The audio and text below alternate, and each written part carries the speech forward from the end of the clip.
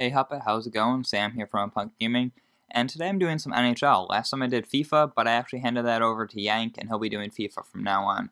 So I'm going to be going behind the scenes in NHL and show you guys how to build a team up from basically nothing and into a dynasty. So it's going to be a 10 season NHL GM career, and I'll be using the Edmonton Oilers for the first, I believe, three seasons. It gives you a three season contract you can see how I have all of my settings lined up so you guys can play on the same setting. I adjusted the GM length to about 10 seasons, so it'll be a 10 part series, and if you want to see another one after that, then I will do another one with another team, maybe how to build a team from a medium rank into a dynasty instead of starting from scratch. So, first thing you want to do is go and view your lines. So, these are my current lines right here on the NHL roster. I got some good players in Taylor Hall, Nugent Hopkins, Smith, Gagne, Eberle, and Hemsky is pretty good as well. And on defense, Ray, um, it's not Ray Whitney, but uh, Nick Schultz and Whitney are pretty good, as well as Smid. And then in goal, I have Nikolai Khabibulin and Devan Dubnyk, who are not the best, but they will do for now. I'm going to upgrade those as the series progresses. And then in the, the AHL, I'm sorry, the only people that are really useful are Magnus Paajarvi and Linus Omark. Those are the only two that will be brought up throughout the uh, year. The rest of the people are kind of, I guess you could call them injury reserve, even though they technically are not. And in goal, there's no one particularly useful. So after that, I decided to go and look through the free agent market, and I decided to pick up a goaltender to replace uh, Nikolai Khabibulin, so I signed Pascal Leclaire for, I believe, a two or three season contract just to be a backup goaltender. And yes, it was two seasons.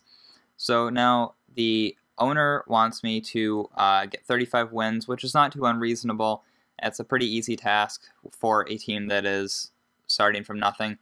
And throughout the preseason, I did relatively well. I actually picked up this trade for Khabibulin after I signed Leclaire for a third round pick this year and next year. I thought that was pretty good for someone I'm not going to use anymore. And this is going to go into some detail here. This is your trading block. It's much more in depth than in past years. You can specify what stats you want to be good. So here I was trying to get a second line forward to fill in for Ales Hemsky, who was injured at the beginning of the season. And so I decided I wanted someone that was signed for three to eight years, probably someone that's going to be very beneficial to the team, that has a high overall 85 or above, which isn't too unreasonable for a second line forward, a pretty good wrist shot, which is something that I need.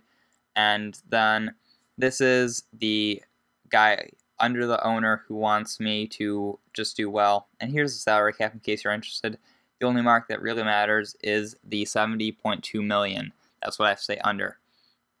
And so this is the roster going into the season. I decided to put Hall, Nugent Hopkins, and Eberle on the top line, followed by Smith, Gagne, and Hemsky. And then I brought Paajarvi up from the AHL on to the third line, and then the fourth line is just my tough guys. And then on defense, it's basically what you saw before, except I believe I switched Potter and Peckham, or maybe it was Petry and Peckham, and the rest of that stays the same, as well as in goal. The only difference is that Nikolai Khabibulin has been switched out for um, Pascal Leclaire now. So you can see that as well as the shootout lineup. Alice Hemsky, Jordan Eberle, Taylor Hall. Those are the top guys. Those are guys that are pretty much going to stay there, barring injuries, because injuries are very, very big deal with this. And the one thing that you guys are not going to be seeing in this episode is all of my um, my roster moves. And the roster moves are very annoying. Um, before I get to that, though, I did make this trade. This was a rather big trade, actually. I traded for Tim Erixon, So I traded the third round pick that I picked up from Buffalo, as well as my second round pick and an AHL prospect for Tim Erixon, who is a huge defensive prospect.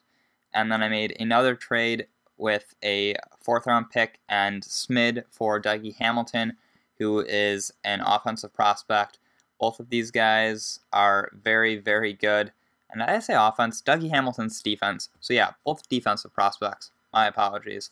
So this is uh, middle of December. I'm ninth in the uh, Western Conference, which is very, very good. Much better than I expected. A just sub 500 record way better than I expected to be doing, and it uh, pretty much goes on downhill from here fast. And it's kind of what I expected, but not too bad. And something I forgot to do early on was to go to the staff upgrades. This is huge deal. There's four things: the amateur and pro scout, the medical staff, and the assistant coach. So the one you can pretty much ignore is the assistant coach. It's a waste of your points. Don't bother with it. The amateur scout is good for draft rankings and such. Um, pro scout is trades and players that are moving. He'll be better at that. And then the medical staff obviously will help you to either not get injured, your, your players won't get injured, or to recover faster, which is very, very important because injuries are a huge part of this game. If you have a lot of top player injured, top players injured, sorry, you're not going to do well. Simple as that. And so I upgraded my medical staff to do well. And we only had one player make the All Star team, and it was Ales Hemsky. I believe he was on the third line and right wing. Yes. Yeah, he's the only one that made it. And this is the post All Star break team. Uh, it's not doing too well. A lot of injuries because my uh, staff upgrades were not done at the beginning of the season. I actually did them way, way later. But before I continue, the one thing I did not do was I didn't show any of the roster moves, and I'll go into that more in depth in the next video because building a roster and putting players in the right spot is very, very difficult. So I'll try and explain the basis behind that in maybe one or two minutes and get through it fairly quickly and not take up a ton of time. So I actually got this trade for Ryan Smyth and I was like, this is kind of ridiculous. I want to show it to you guys. A second and a third round pick for the uh, the leading scorer, I believe, on my team. Yeah, yeah, he's definitely he was the leading scorer at the point of this trade, and I was like, you can't expect me to actually make that trade. And then I will be showing who I picked up on waivers. So I picked up Brett Lebda. He's going to be playing defense in the minors. I didn't bring him up at all throughout the season. And then this is just for the trade deadline. So you want to simulate to the day before so you can set everything up. And here what I did is I looked at the bottom teams. So I looked, I saw Florida, New Jersey, Tampa, and then I believe Columbus and Dallas in the Western Conference were the two teams that were below me in the West. Yes, it was. And then the three in the East. And my theory is you want to try and pick up those kind of players. And with that kind of, or not those players, but those, you want to trade with those teams, get their draft picks, because those are going to be the ones that are going to be worth more come the draft. So that was my theory behind this, as well as I made a trade for Eric Belanger, who's 35, isn't going to be very useful on my team for a second round pick in this upcoming draft, which to me, I think getting a prospect is much more important than having an old player. And then I picked up Anton Stralman off of waivers. He will probably be making the NHL roster next season. I picked him up at a point that was very, very late in the season, and there was no point in messing up the chemistry I had. But come the 2013-2014 season, he will probably be making the roster. And this is the last week of April, actually. I went on a nice win streak here. I believe I believe I beat who was that? Was that Anaheim? Anaheim, and then I beat Phoenix, and then I beat um, Vancouver. I cannot tell logos. I'm sorry. Preview is tiny. And that actually got me to my 35 wins, which is perfect because I met the low end of the requirement from the management and will be able to keep my contract through next season and hopefully do much, much better. And I did lose to Calgary in the final game of the season, which kind of sucks that I did go on that um, losing game at the end.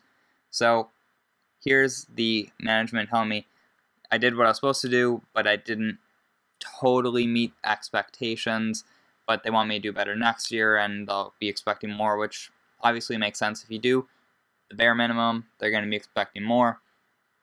Makes perfect sense, and I expect to be doing much, much better come the draft and stuff. So here you can see the Buffalo Sabres and the Chicago Wolves are the Stanley Cup and Calder Cup champions respectively, in case you guys were wondering.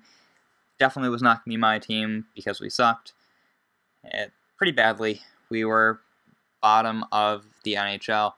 I'm a 35 41 4 record isn't terrible. And that was the salary cap for next season. They'll remind me later on. But my scout tells me those are some prospects to try and look for in the draft, which, speaking of the draft, will be in the next episode. And I'll go more into draft strategies there, as well as free agent strategies. So if you guys want to learn some, some specifics about this, let me know down in the comment section what you want to learn, as well as maybe give me some feedback on what to improve on. So with that being said, my name is Sam, and I'll talk to you guys later. Peace out, Hupit.